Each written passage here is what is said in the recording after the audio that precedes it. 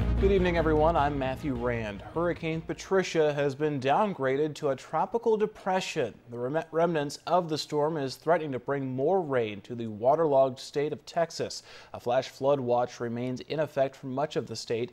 Kenneth Craig reports from Galveston.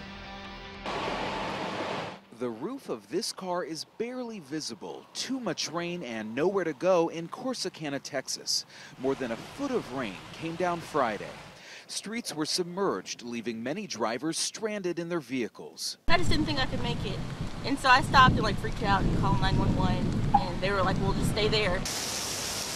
The relentless rain washed away tracks, causing a freight train to derail about 60 miles south of Dallas. Flash flooding also shut down a major highway between Dallas and Houston for hours. Traffic was backed up for miles. South and central Texas are preparing for another round of misery. Remnants of Hurricane Patricia, which hit Mexico as a Category 5 storm, are expected to dump more rain on the saturated ground Saturday night into Sunday morning. Saturday afternoon, officials also issued a voluntary evacuation order for residents in part of Galveston County and are offering them transportation and shelter.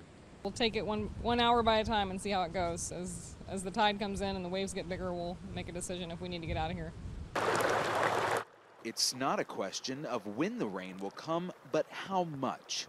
Kenneth Craig, CBS News, Galveston, Texas. Flash flood watches will remain in effect for parts of Texas through Monday. 100 flights were reportedly canceled at Dallas Fort Worth International Airport on Saturday.